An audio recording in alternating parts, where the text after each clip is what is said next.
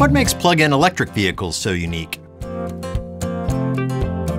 Okay, two fully charged battery electric vehicles, BEVs, leave Madison traveling on I-90 in opposite directions, one bound for Eau Claire, the other for Chicago. How many miles per gallon will each expect during the trip?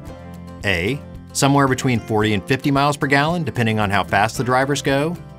B. 50 on the way to Eau Claire, 40 to Chicago since traffic is worse in Chicago. C. Depends on the make and model of the plug-in electric vehicle. Or D. None.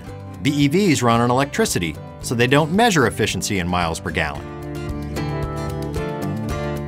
The answer is D, of course.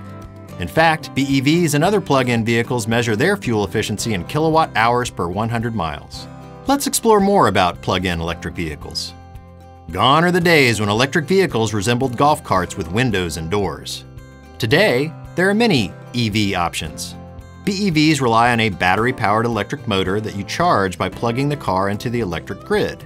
EREVs have a longer range thanks to a gas-fueled combustion engine that powers a generator to recharge the battery if it dies while driving. Wait, let's back up a sec. An internal combustion engine, like those in the vast majority of vehicles, uses high pressure and high heat from the combustion of fuel to create force that drives the components of the engine, such as the pistons. In the process of converting chemical energy into mechanical energy, most of the energy is wasted as heat, Plus, the process results in emitting pollutants. Electric motors, though, are much more efficient, converting the stored energy in a battery to power the vehicle. EVs also capture energy created from braking and then reuse it, all while producing little, if any, air pollution. PHEVs have the same electric motor and its benefits, but they also have a combustion engine to power the vehicle when the battery is depleted.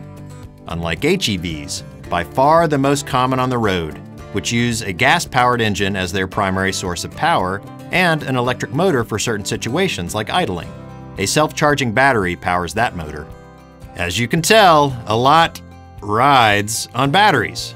Most EVs use lithium-ion batteries because they're able to store a lot of energy, have a long lifespan, and generate enough power to accelerate a car. Very quickly, in fact, because they're at full torque regardless of RPMs. The batteries enable BEV plug-ins to go anywhere from about 70 miles to as much as 300 miles on one charge. The ranges for most hover around 100 miles. And that range tends to reflect the price range too. Some plug-ins are in the mid-20s and some just shy of $100,000.